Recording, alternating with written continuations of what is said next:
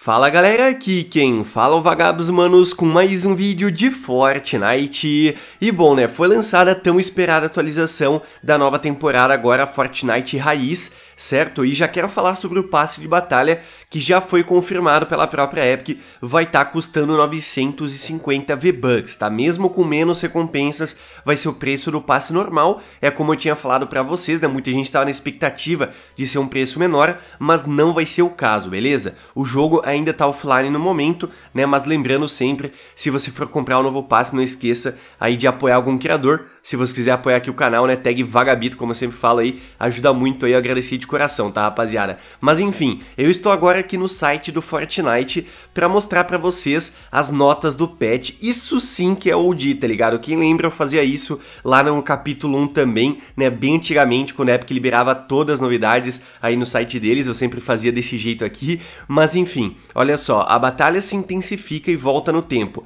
Volte no tempo e passe novamente por cada temporada. Alguns equipamentos retirados do cofre a cada atualização serão mantidos até a atualização seguinte. Outros ficam disponíveis por mais de uma atualização ou até o fim do Fortnite raiz, né? Os itens abaixo são apenas uma parte de tudo que sairá do cofre.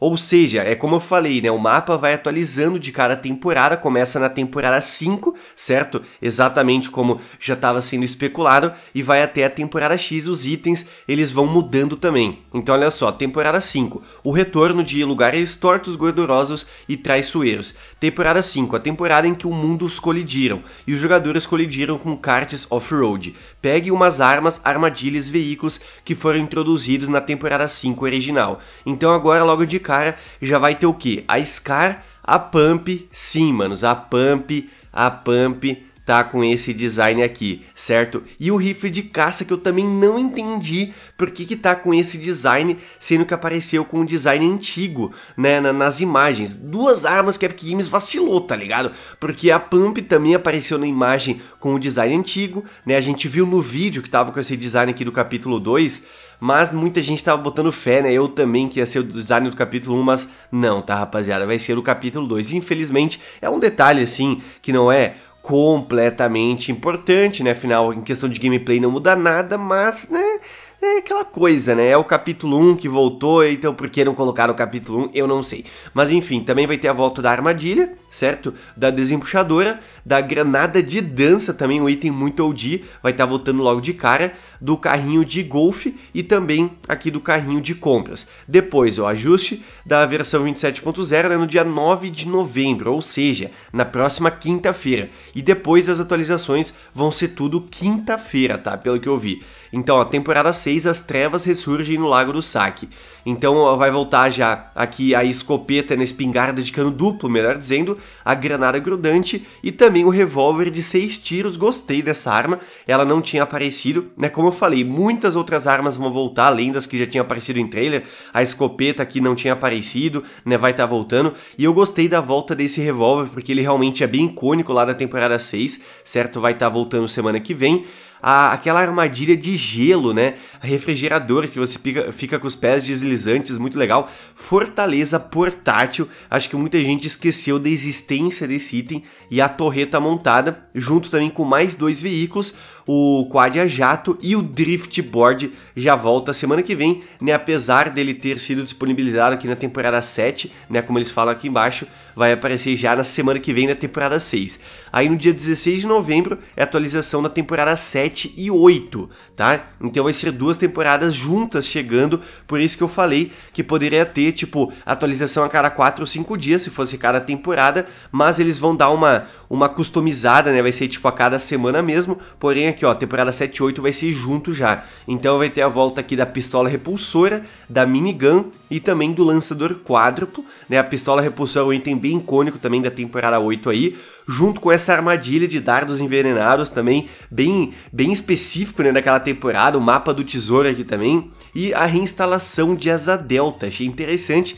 Esse item que vai estar tá voltando, e dois veículos, o avião, obviamente, né, quando a gente fala em temporada 7, automaticamente vem um avião na cabeça, e a lâmina do infinito, só que a lâmina do infinito Epic Games não é louca de colocar de volta, e o canhão pirata, né, que não é que muita gente usa aí, ele também já apareceu no trailer, vai estar tá de volta. No dia 23 de novembro, atualização então na temporada 9 e da temporada X, né, mais duas temporadas que a Epic Games vai estar tá trazendo junto aí. E a gente pode ver as armas que vão voltar, o rifle de precisão pesada, a famosa Barret, para alegria aí de muita gente, mas ela já tinha voltado recentemente, então não é aquele item que a galera tá sentindo muita falta, né? O lança-granada de proximidade, o ataque aéreo, fenda do ferro velho, só item diferenciado aqui, né? Junto aqui também com inversor de tempestade, esse item com certeza é o mais maluco, né? Que a Epic Games lançou na época e tipo nunca mais voltou. Eu também tinha até esquecido desse aqui.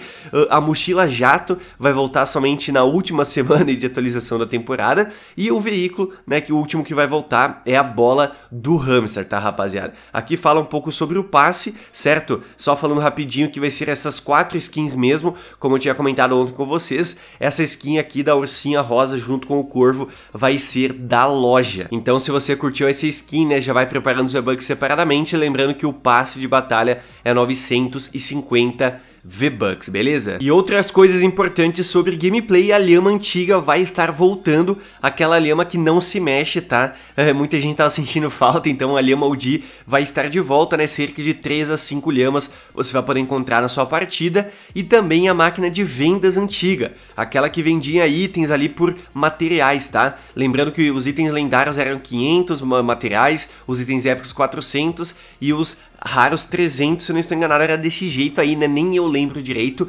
mas enfim, uma coisa importante dos materiais é que eles vão continuar do jeito que estavam na temporada passada, ou seja, limitados a 500, mas você ainda consegue, né, 50 de cada material uh, nas eliminações ok? Então não vai voltar a ser do jeito antigo, lá com mil de cada material, certo? O que acho que realmente é justo, porque a gameplay mudou bastante, né? Conforme os anos foram passando, então a Epic Games fez esse ajuste e não vai trazer de volta no jeito que era lá do capítulo 1, mas acho que não vai interferir tanto assim, né? As outras coisas, como tudo falei aí, vai estar tá voltando e tudo, então a gente vai estar tá sentindo aquela nostalgia de qualquer maneira, né? Mas então é isso, galera. Espero que vocês tenham gostado do vídeo. Lembrando, né, que hoje vão ter mais vídeos aqui por aqui, claro, então fique ligado, eu vou estar trazendo né, tudo que eu acho interessante aí para vocês. A maior parte das coisas a gente já sabe, né? Agora falta ver o passe completo aí, o mapa completo, mas a princípio, né, tudo aí vai estar voltando os itens, boa parte da loot pool do capítulo 1 vai estar de volta. Isso eu achei muito bom. Eu não esperava que a Epic Games ia trazer tantos e tantos itens. Ontem já tinha aparecido muitos itens nos trailers e agora como a gente viu ali nas notas do patch, muitos outros itens também vão estar de volta. Realmente a loot pool antiga voltando eu acho que traz né, uma boa parte aí daquela nostalgia junto também. Mas então é isso, manos, aquele abraço, se vemos no próximo vídeo, valeu, falou, se eu fui!